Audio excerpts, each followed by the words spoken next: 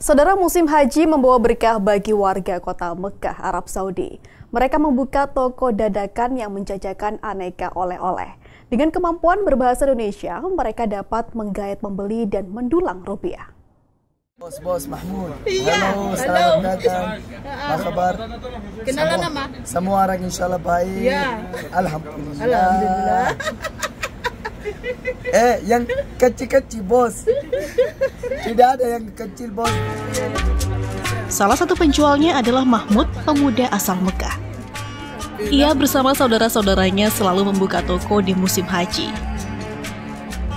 Lokasi toko yang ia miliki berada di tengah-tengah hotel Jemaah Haji Indonesia. Ia menjual beragam aksesoris dan peralatan rumah tangga khas Timur Tengah. Rata-rata pemilik toko mampu berbahasa Indonesia, bahkan pembayarannya menggunakan rupiah. Alhamdulillah. Yang belajar saya tunggu. Senang. Senang. Senang. Ya. Ya. Penjualnya ramah, ah, baik. bilang semua orang sini. Saya tunggu. Iya, ha. Toh? Orangnya ramah, orangnya ganteng. Eh, orang Iya. ganteng. Baik. Orang Melayu, orang Iya. Bugis, orang Sulawesi. Jual apa aja? Orang Luar- Jambi. Jual apa aja ini? Apa Ya, semuanya? Apa ini semuanya? Bacain berapa? Ada ada ada jam, Iya. ada parfum yang Iya. uh, original, Iya. ada yang uh, shusmu, uh, Iya. tas, Iya. tas original, uh, Iya. ba- asli tas. Ada yang uh, zam-zam. Berarti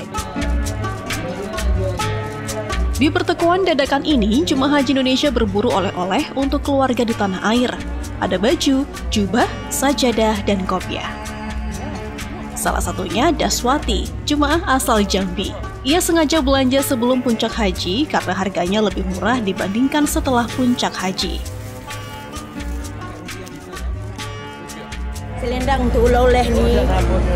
Nih. Berapa? 100 real. Eh, enggak, 100 ribu Jokowi. Suruh Jokowi. Iya, ini 100 ribu Jokowi, ini 100 Jokowi. Ya, satu. Heeh. Bagus ya motifnya Bu ya. Ah, Alhamdulillah. Ini kan motif sekarang. Kalau yang dulu tuh enggak, ini kan motif baru lagi. Nah, cocok dipakai Ibu ini. Ah, cocok lah. Jemaah haji yang tinggal di Gaslah Shisha suka belanja di sini karena bisa menawar harga. Imron Fahim, Kompas TV, Mekah, Arab Saudi.